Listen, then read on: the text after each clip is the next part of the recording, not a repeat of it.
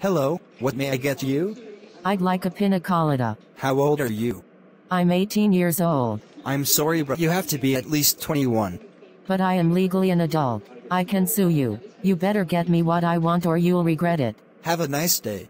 Listen, don't play games with me or I'll get your manager. Thank you and come again. I will call 911 on you. Try that. You won't like the outcome. It will be extra sucky for you because you're legally an adult.